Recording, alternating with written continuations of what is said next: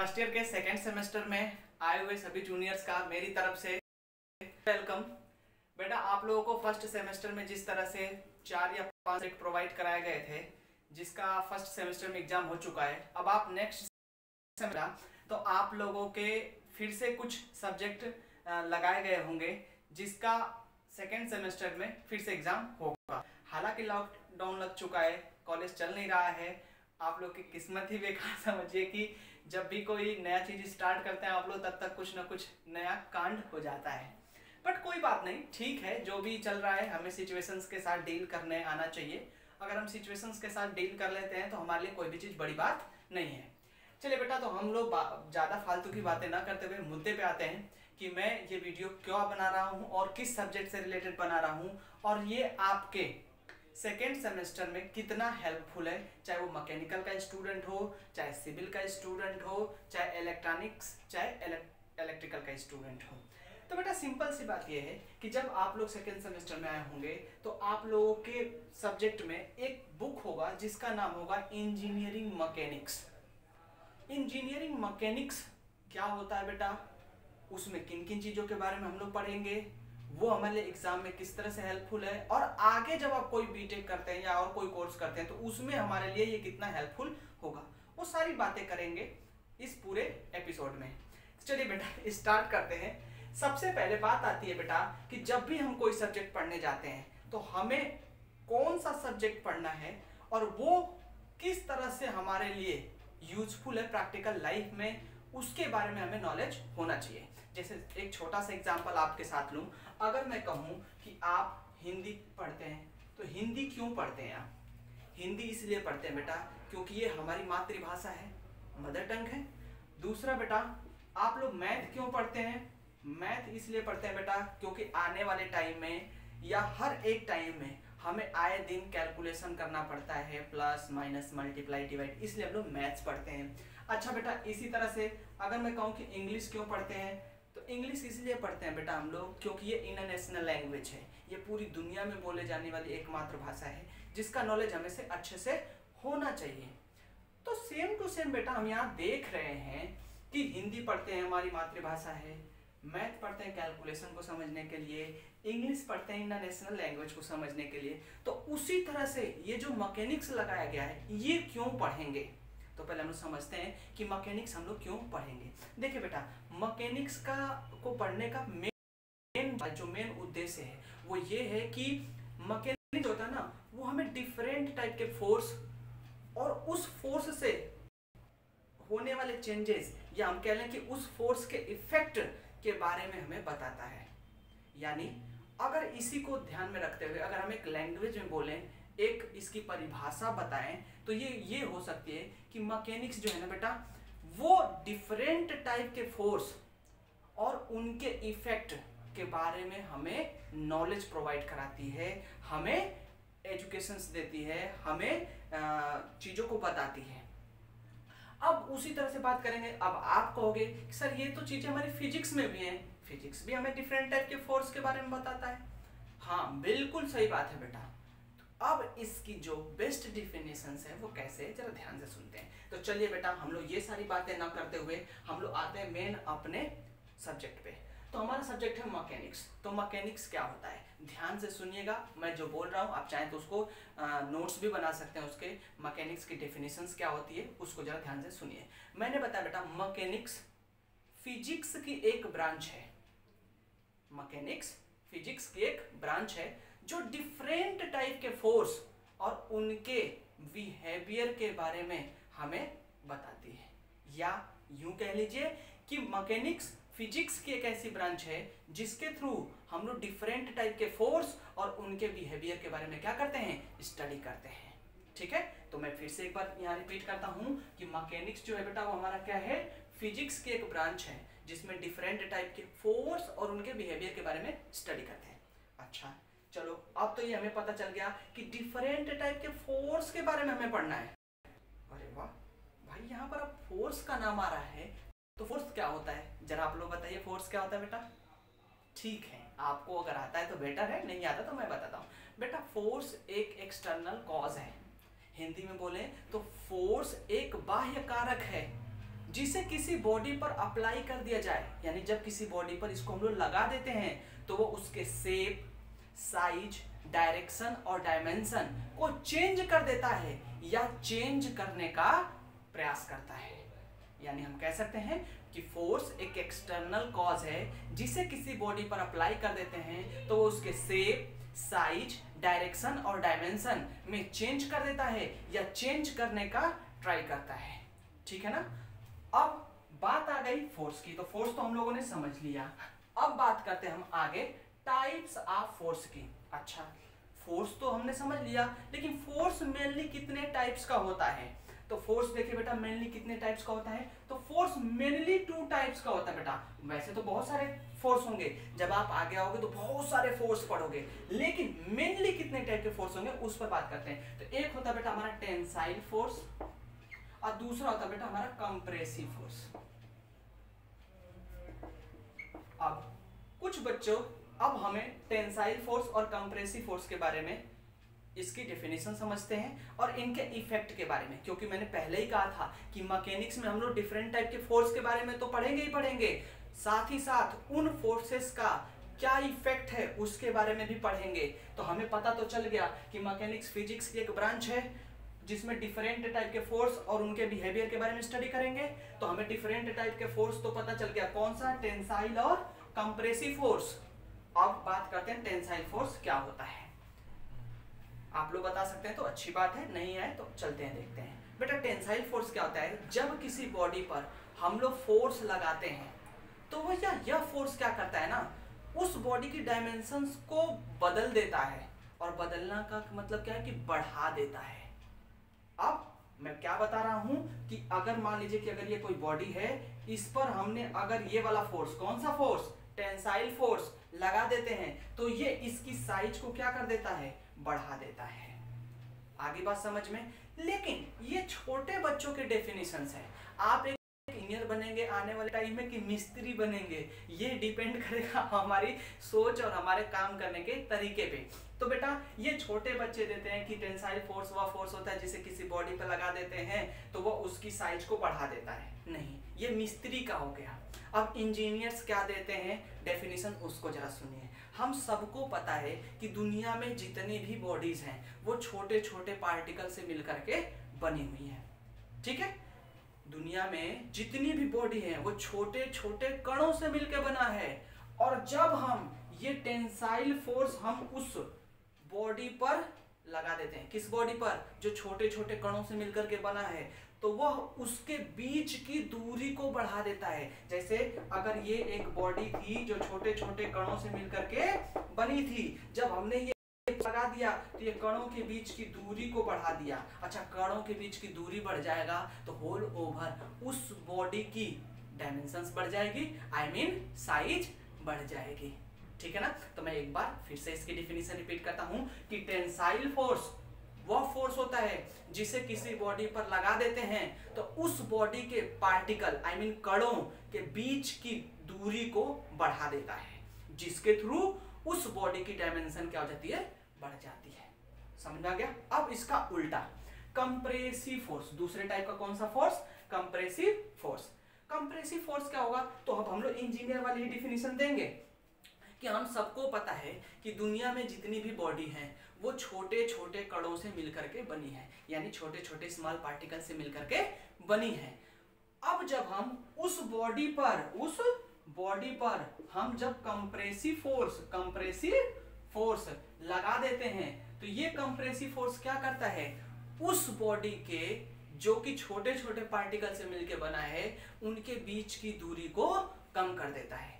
जब उनके बीच की दूरी को कम कर देता है तो होल ओवर क्या होगा? जब किसी के बीच की दूरी को हम कम कर देते हैं तो उसकी साइज़ क्या हो जाती है? ऑटोमेटिक कम हो जाती है। तो हम ये बता सकते हैं कि कंप्रेसिव फोर्स वह फोर्स होता है जिसे किसी बॉडी पर लगा देते हैं तो उस बॉडी के पार्टिकल्स के बीच की दूरी को क्या कर देता है? कम कर देता है, जिसके थ्रू उस बॉडी की डायमेंशन छोटी हो जाती है।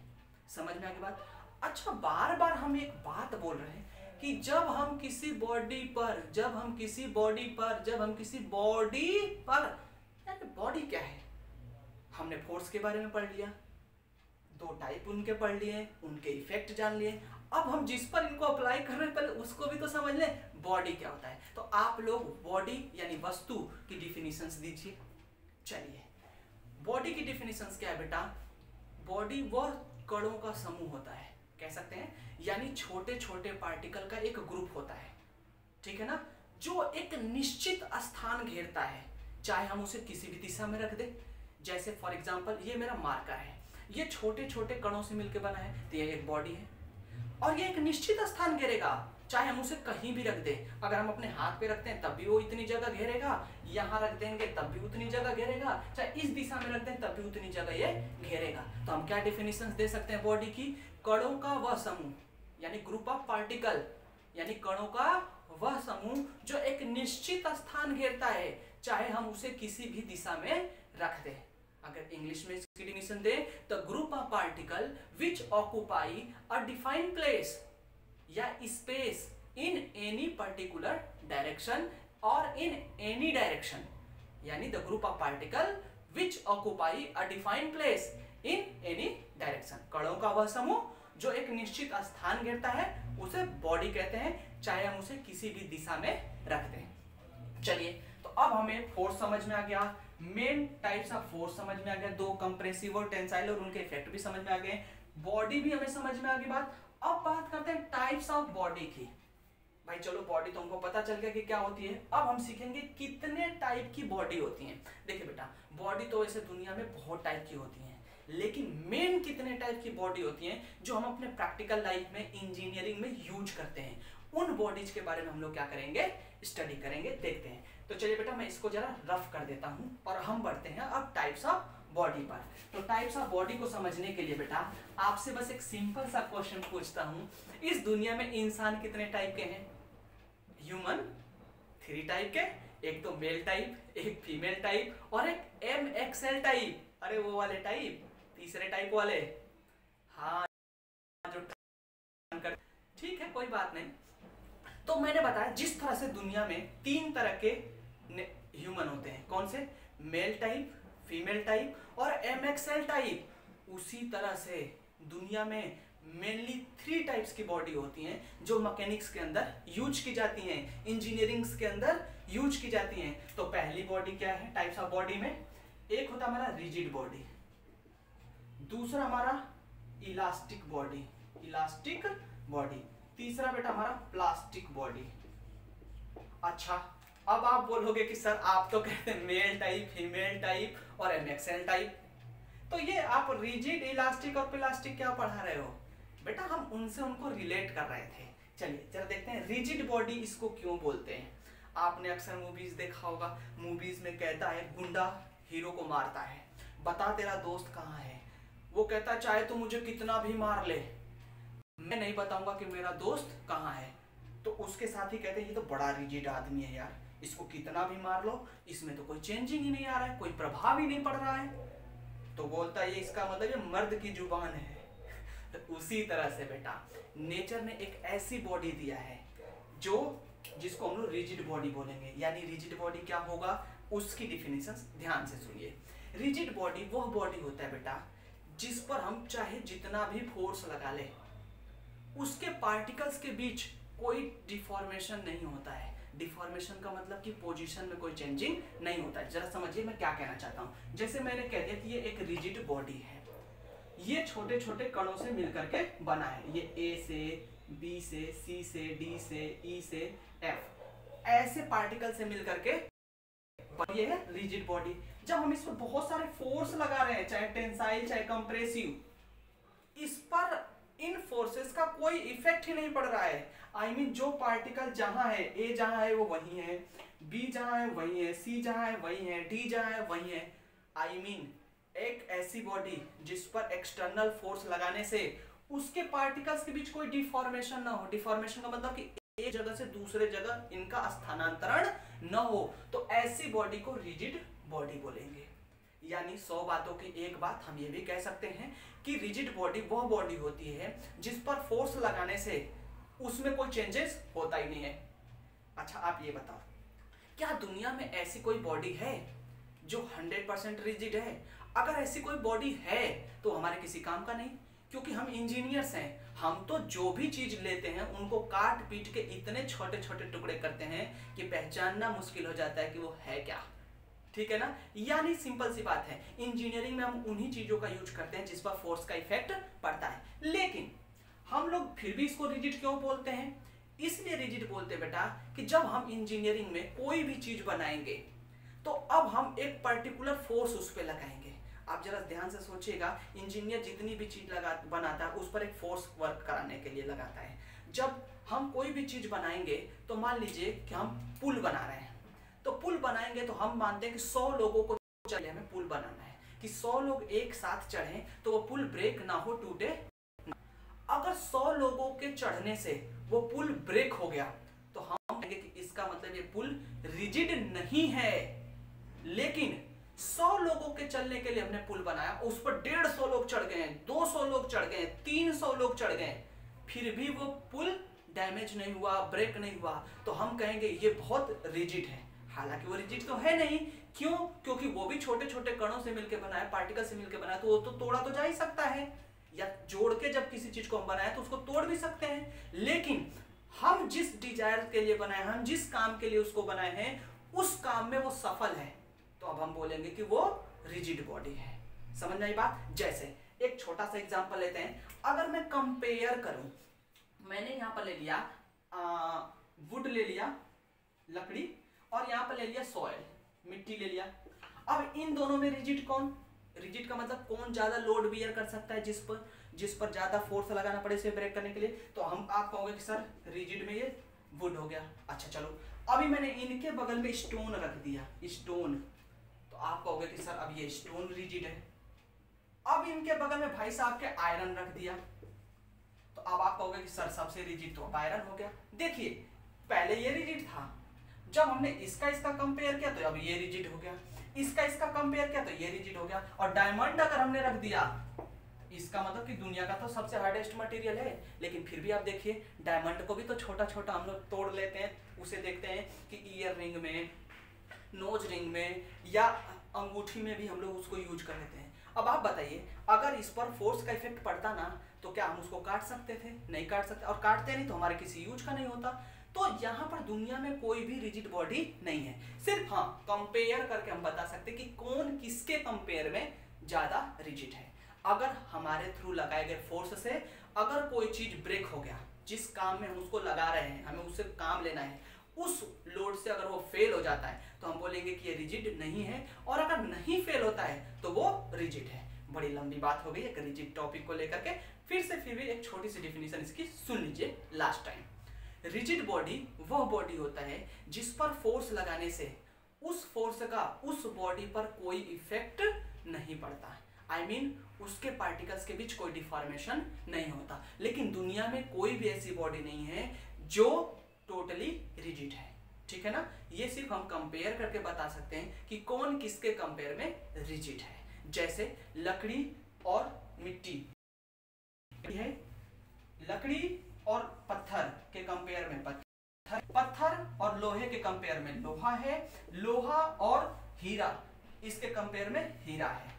लेकिन कोई भी इसमें टोटली रिजिड नहीं है।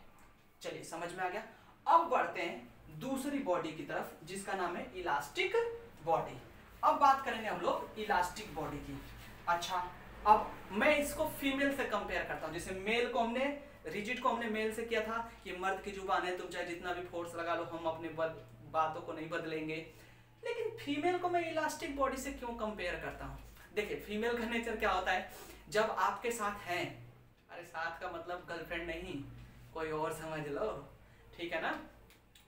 तो अब जब वो आपके साथ हैं तो आप जब उनसे बोलोगे कि भाई साहब देख मैं तुझे कोई बात बता रहा हूँ तू किसी से बताइए मत। तो कहेंगे हाँ हाँ मम्मी की कसम सबकी कसम, मैं किसी से ना बताऊँ। तुम जो कह दोगे मैं वैसे ही करूँगी।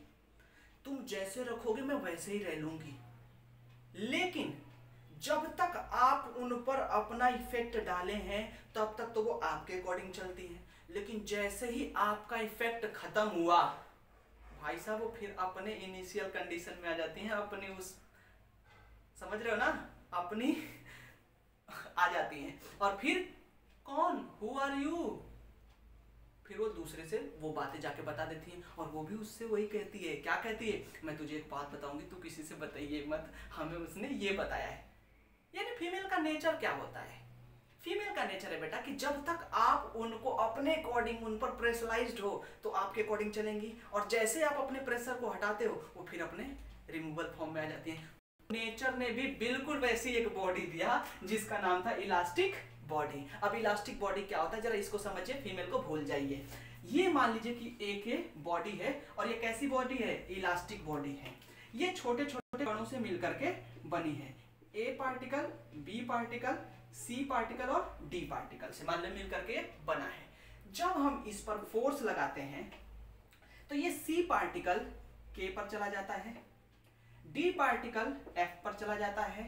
बी पार्टिकल जेड पे चला जाता है और ए पार्टिकल एम पे चला जाता है। देखिए, मैंने कहा कि ये एक इलास्टिक बॉडी है, जिस पर हमने फोर्स लगाया तो ए पार्टिकल एम पे चला गया बी पार्टिकल जेड पे चला गया और डी पार्टिकल एफ़ पे चला गया और सी पार्टिकल के पर चला गया।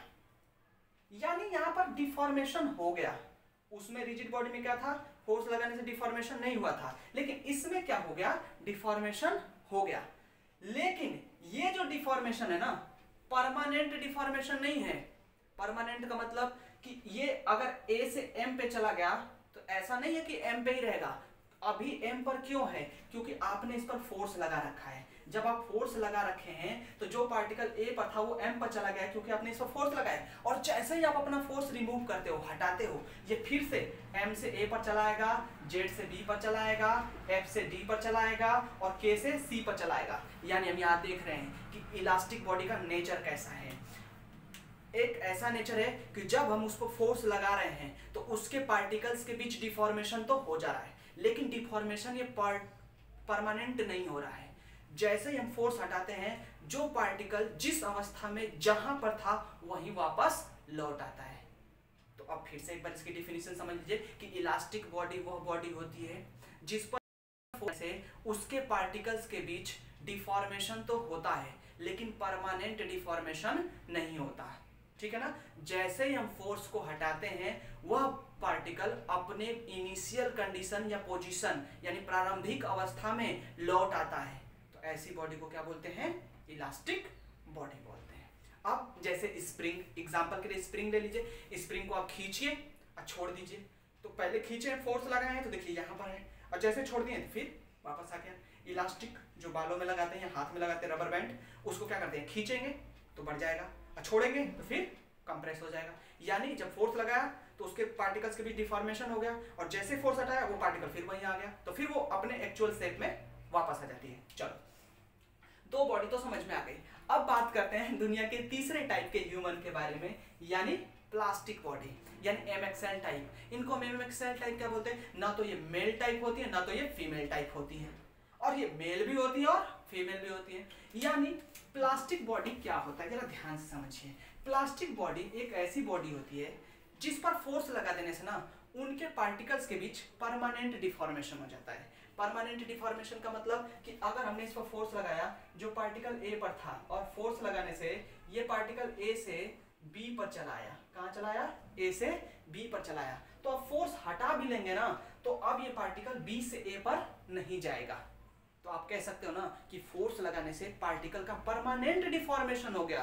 तो ऐसी बॉडी को क्या बोलेंगे? प्लास्टिक बॉडी बोलेंगे। और इसका एग्ज़ाम्पल क्या है? मान लीजिए कि साबुन है। आप बाथरूम में नहा रहे हैं। और नहाते नहाते साबुन गिरा, दीवार से जाके टकरा गया। तो जब आप साबुन को उठाते हो तो क्या साबुन जो पिचक गया होता है, फिर से वो रिकवर हो जाता है? नहीं होता। क्यों? क्योंकि उसमें परमानेंट फोर्स लगने से परमानेंट डिफॉर्मेशन हो गया और वो बदलता नहीं है। जैसे गीली मिट्टी ले लीजिए, गीली मिट्टी को गोल कर दीजिए, उसको फिर दबा दीजिए। दबा करके आप हाथ हटाते तो फिर वो गोल नहीं हो जाता। क्यों नहीं हो जाता? क्योंकि फोर्स लगाने से उसमें परमानेंट डिफॉर्मेशन हो गया है। क्यों? क्योंकि वो प्लास्टिक बॉडी है। तो आई होप कि आप लोगों को टाइप्स ऑफ़ बॉडी भी समझ में आ गया विद एग्ज़ाम्पल अब अगर आप लोग को इतनी बातें समझ में आ गई तो अब बढ़ते हम लोग इक्विलिब्रियम की तरफ़। कि इक्विलिब्रियम क्या होता है? इसको हिंदी में बेटा हम लोग साम्य अवस्था बोलते हैं। साम्य अवस्था। आप लोग ट्वेल्थ के जो स्टूडेंट होंगे, वो थोड़ा बहुत इसके बारे में जानते होंगे। लेकिन फिर भी आइए मैं आप लोगों को बताता हूँ कि इक्विलिब्रियम होता क्या है। इक्विलिब्रियम का मतलब क्या होता है ना बेटा? कि जब हम कोई भी चीज़ ले लें कोई भी मीडियम ले लें अगर उस मीडियम के सभी पार्टिकल एक फ़ेज़ में हो जाएँ, एक ही अवस्था में हो जाएँ तो उसको हम लोग बोलेंगे कि ये इक्विलिब्रियम की कंडीशन में है। लेकिन ये सब केमिस्ट्री की लैंग्वेज है। हम मैकेनिक्स के अंदर इसको किस तरह से डिफाइन करेंगे? आइए देखते हैं। इक्विलिब्रियम क्या होता है? यानी इक्विलिब्रियम क्या होता है कि फोर्स लगाने से क्या फोर्स लगाने से अच्छा फोर्स बार बार क्यों बोल रहा हूँ? क्योंकि भाई हम मैकेनिक्स से पढ़ते हैं फोर्स को जानने के लिए। तो फोर्स लगाने से अगर उस पार्टिकल्स में, यानी उस बॉडी के स्टेट में कोई चेंजिंग नहीं आती है। स्टेट का मतलब कि अगर वो रुका है तो रुका रहेगा, चल रहा है तो चलता रहेगा। जिस स्पीड से चल रहा था, उसी स्पीड से चलेगा। तो ऐसे बॉडी को इक्विलिब्रियम स्टेट में बोलेंगे। जैसे फॉर एग्जांपल ये दीवार है। दीवार पे हमने फोर्स लगाया है फोर्स लगाया, और फिर भी ये क्या है? रुकी हुई है। तो हम बोलेंगे कि ये दीवार इक्विलिब्रियम कंडीशन में है। लेकिन इक्विलिब्रियम के भी टाइप होंगे। इसको हम लोग डिफाइन कैसे करेंगे? तो आइए उसको टाइप्स ऑफ़ इक्विलिब्रियम में। टाइप्स ऑफ़ इक्विलिब्रियम क्या होता है? इक्विलिब्रियम में दो तरह का होता है, बेटा। एक होता है स्टैटिक इक्विलिब्रियम दूसरा होता है, बेटा, हमारा डायनेमिक इक्विलिब्रियम स्टैटिक इक्विलिब्रियम क्या है? सपोज़ करिए बेटा कि ये एक बॉडी है। हमने इस पर फोर्स लगाया। हमने इस पर बहुत सारा फोर्स लगाया। फोर्स लगाने से ये बॉडी जहाँ थी ए पॉइंट पे थी तो ये ए ही पॉइंट पर है। फोर्स लगाने से इस बॉडी के पोजीशन में कोई चेंजिंग नहीं आई। तो ऐसी बॉडी को बोलेंगे कि ये स्टैटिक इक्विलिब्रियम में है। यानी फोर्स लगाने से इस पर फोर्स का प्रभाव पड़ता ही नहीं है। तो इसको बोलेंगे कि ये स्टैटिक इक्विलिब्रियम में है। आगे बात समझ में? लेकिन जरा ध्यान समझिए दूसरा एग्ज़ाम्पल ये एक बॉडी है। कार है, ये हमारी वाली कार है। ये सबकी बीएमडब्ल्यू होती है, हमारी आरएमडब्ल्यू है ये। ठीक है? तो ये बीएमडब्ल्यू है आप लोगों की, मेरी आर ये चल रहा था बेटा एक यूनिफॉर्म स्पीड से, एक समान गति से। मान लीजिए कि टू किलोमीटर पर मिनट के हिसाब से ये चल रही है। बहुत फास्ट चल रही है टू किलोमीटर पर मिनट के हिसाब से चल रही है ये एक गाड़ी। अब गाड़ी मूविंग कंडीशन में है तो हम बोलेंगे कि डायनामिक फॉर्म में है। लेकिन हमने क्या किया पीछे से बहुत सारा इस पर फोर्स लगा दिया? फोर्स लगा दिया। अभी भी इन फोर्सेस की वजह से जो इसकी speed two kilometre per minute है, वो चेंज नहीं हुई। अभी भी फोर्स लगाने के बाद भी ये जो कार है, हमारी जो टू किलोमीटर पर मिनट के हिसाब से चल रही थी, अभी भी टू किलोमीटर पर मिनट के ही हिसाब से चलेगी। तो अब हम बोलेंगे कि ये जो बॉडी है, ये जो बॉडी है, वो डायनामिक इक्विलिब्रियम है। इसका बेस्ट एग्ज़ाम्पल चलती हुई ट्रेन में तो आप लोग बैठे ही होंगे या उतरे होंगे। तो देखिए, जब ट्रेन चल देती है तो 100 लोग 50 लोग चढ़ते हैं 50 लोग उतरते हैं। लेकिन ऐसा नहीं ना कि चढ़ने से स्पीड उसकी कम हो जाती है और उतरने से स्पीड ज़्यादा हो जाती है। ऐसा होता है चाहे आप उस पर फोर्स लगाओ और चाहे हटाओ, उसके स्पीड में कोई चेंजिंग नहीं होती है। तो हम कह सकते हैं कि जो चलती हुई ट्रेन है, वो क्या है? डायनामिक इक्विलिब्रियम है। यानी डायनामिक इक्विलिब्रियम क्या है? कि अगर कोई बॉडी एक समान गति से यूनिफॉर्म स्पीड से चल रही है तो फोर्स लगाने से उसके स्पीड में कोई चेंजिंग नहीं हो। तो ऐसी बॉडी को बोलेंगे कि ये डायनामिक इक्विलिब्रियम में है। समझ में आ बात बेटा? अब बात करते हैं अगले टॉपिक की। Centre of gravity of body अब यहाँ से थोड़ा सा खेल शुरू होता है आप लोग के मैकेनिक्स में, जिसको बार बार ये चीज़ें टॉपिक आएँगे आप लोगों के लिए। तो इनको जरा ध्यान से समझिएगा। अब बात करेंगे हम लोग centre of gravity of a body अच्छा जरा ध्यान से समझिएगा। ये है हमारी एक बॉडी ठीक है? ये एक बॉडी है। और हमने बताया कि दुनिया में जितनी भी बॉडी है, वो छोटे छोटे पार्टिकल से मिलकर बनी है। तो मैं मानता हूँ कि M one M two M three M four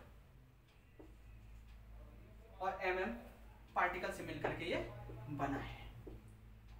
जिसके ऊपर, ध्यान से समझिएगा तो अब हमने कहा कि एक ऐसी बॉडी जो छोटे छोटे पार्टिकल से क्या है मिलकर के बना है। तो इन पार्टिकल्स का कुछ ना कुछ मास होगा।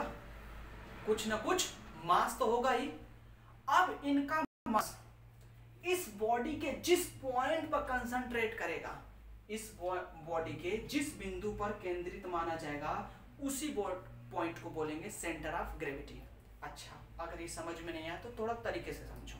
जैसे फॉर एग्ज़ाम्पल हम एक दीवार बन, एक ईंट ले लें तो एक ईंट का अपना खुद का सेंटर ऑफ़ ग्रेविटी होता है। सेंटर ऑफ़ ग्रेविटी का मतलब कि जैसे इसका सेंटर ऑफ़ ग्रेविटी अगर यहाँ है तो मैं इसको अगर बीच में ऐसे रख के छोड़ूँगा तो ये मेरी उंगलियों पे टिक जाएगा।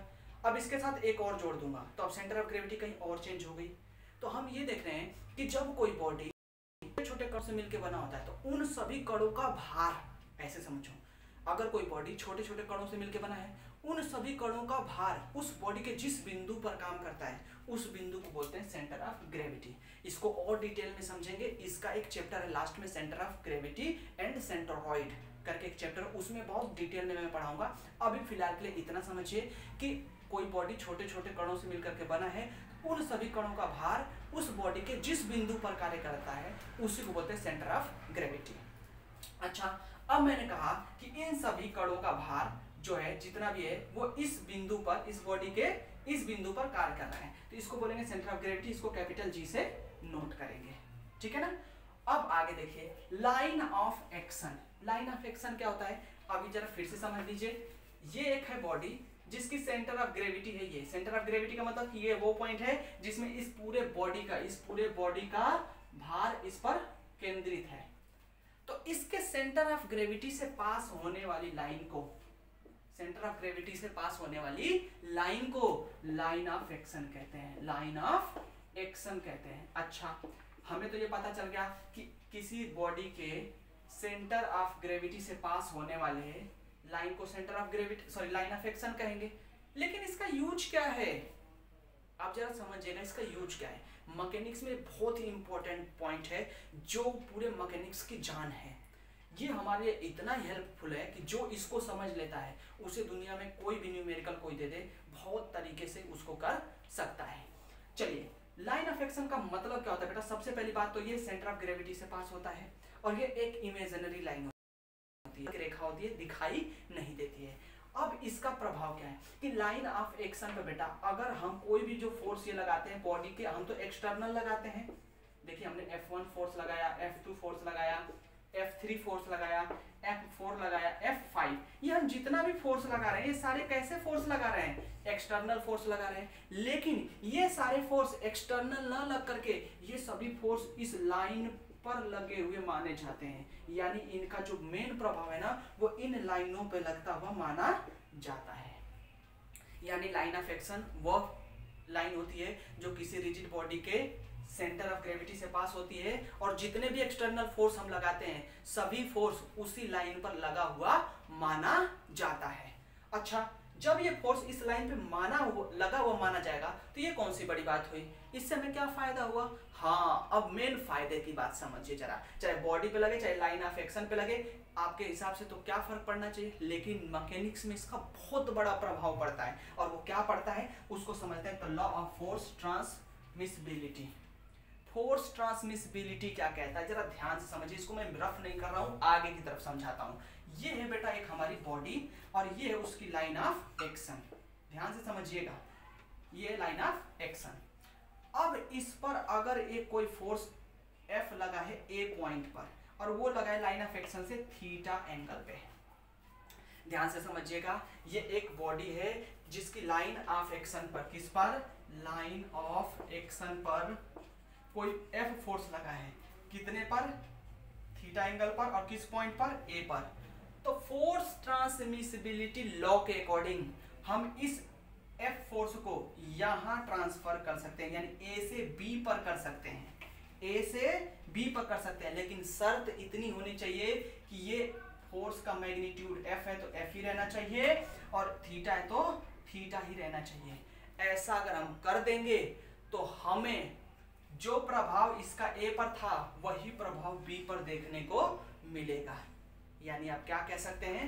एक नंबर या दो नंबर की एक डेफिनेशन आती है आप लोग के बोर्ड के एग्ज़ाम में कि explain law of the force transmissibility law, यानी बलों के स्थानांतरणशीलता का सिद्धांत समझाइए हिंदी में।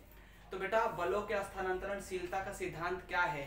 कि फोर्स ट्रांसमिसिबिलिटी लॉ के अकॉर्डिंग अगर कोई फोर्स किसी लाइन ऑफ़ एक्शन के किसी पॉइंट पर थीटा एंगल पे लगा है, या किसी एंगल पे लगा है, या किसी दिशा में लगा है तो उसको हम उसी लाइन ऑफ़ एक्शन के किसी पॉइंट पर ट्रांसफ़र कर सकते हैं, यानी स्थानांतरित कर सकते हैं। लेकिन शर्त इतनी होनी चाहिए कि ना तो फोर्स की मैग्नीट्यूड बदलना चाहिए, अगर एफ़ है तो एफ़ रहना चाहिए, और अगर थीटा है, ना तो एंगल बदलना चाहिए आई मीन ना तो दिशा बदलनी चाहिए, अगर थीटा है तो थीटा रहना चाहिए। ऐसा करने से जो प्रभाव उसका पहले पॉइंट पे था, वही प्रभाव दूसरे पॉइंट पर होगा।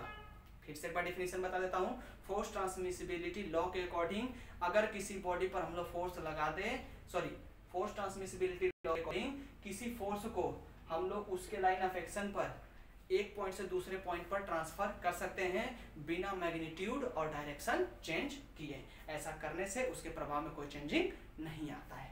लास्ट में हम लोग पढ़ेंगे बेटा, आज के टॉपिक इतना ही रहेगा।